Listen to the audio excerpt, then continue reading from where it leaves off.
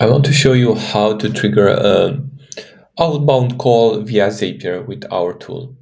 So let's start with the first step. You need to create an assistant. I'm going to create an assistant and show you. You need to pick up an outbound type of assistant. Click on it. You do the configurations as they are or keep them.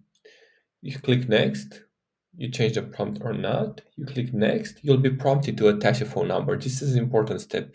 You cannot uh, link this agent with Zapier if it doesn't have a phone number. So you pick a phone number, you add the maximum daily budget, and then you click this checkbox. Then afterwards, you see this view here.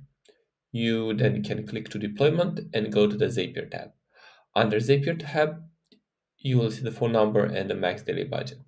There are also a couple of things. You can create a Zap directly from here, or you can open a new page and create a, Zap from there. I'm just going to use a new page because it's easier to show it off for you guys. So the first step is to add a trigger, which is a simple trigger. You can add anything you want to have here. It could be a CSV, it could be a form like Tally, uh, or let's look something else what you can have here. It could be Typeform. It could be a Facebook form leads ads. yeah, it's a leads ads, or anywhere, or even a CRM. You can have a CRM like HubSpot. Sorry, HubSpot uh, or Zoho. I think we have that as well here, uh, and you can Zoho Forms and so on. You can have this add it here and this is where you're going to get the phone number and the lead uh, details. So what's important to know then you're going to have to add Synthflow app. So you just go here add Synthflow right? You'll see only one i'm an admin that's why i see multiples. And the event that you want to pick up here is voice make a phone call. Then you click continue here you will need to add your API key. The API key you can find is you go here, you go uh, iterate integrations here, and you copy one of your API keys or create a new one. I have multiple forms. Then we go back to the, this is, this is the one. Let me rename it to not forget outbound zap demo. Then what you can do, what you need to do is to copy the model ID. You can copy the model ID either from here or either from here. It doesn't matter. Also, you have the API key here. So copy the model ID from here. You continue and you'll have to pay to paste the model ID here. Paste the model ID here. The phone number here uh, is my phone number, but for example, I can pick up the phone number from the spreadsheet which is basically the same of my phone number. The name, you can have the name here if I have it's dummy2, yeah, but it's my name, it's from the spreadsheet.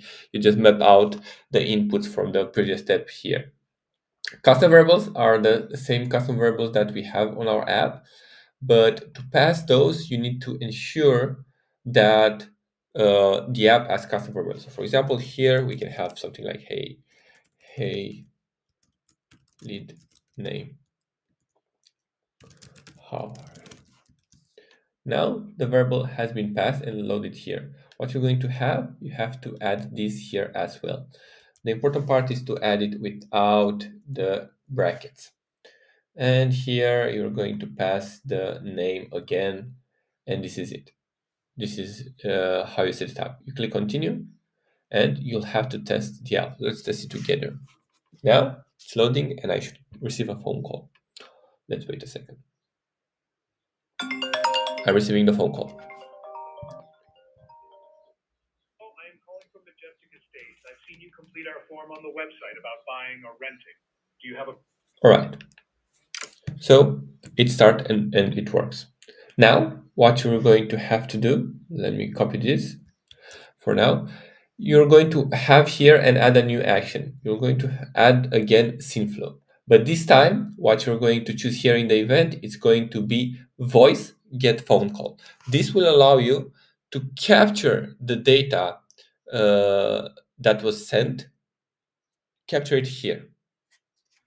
So you can have all the transcript and the other information about the call. Then you connect your account. You don't have to do it night time. And here you have to add the call ID. Uh, and to make it properly, what you're going to add, you need to go here into the voice make phone call in number two and add response call ID. I have an example which I want to test, so uh, I'm going to keep this one. So here you will click test tab and you should be able to find out the call information you picked up here previously. So the call status, the lead name, the lead phone number, uh, time zone. I had uh, a calendar here. Also execution logs if I've uh, used extra information extraction and so on. They're here. Was the information and so on. Then you can use this information and send it somewhere else. So, for example, uh, subject send the email to me. Uh, let's go see body. Here in the body, you can do some couple of things. You're going to select the number three, and you can able to select like uh, here executed actions call ID, how how long it was, the call transcript if you want, and so on. I can also show you an interesting way of doing something. Let me see if I have it open. Uh,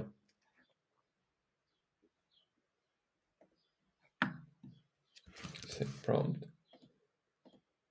Well, I don't have it logged in, but what you can do here is connect your GPT or even uh, I know uh, Zapier has a native GPT, uh, how it was called. It's called AI by Zapier. And here what you can do is parse any data from free from text and you can add which you can add the transcript here and choose how to parse it and you can extract some specific information out of it. But that would be better to do it with information data extraction. Thank you.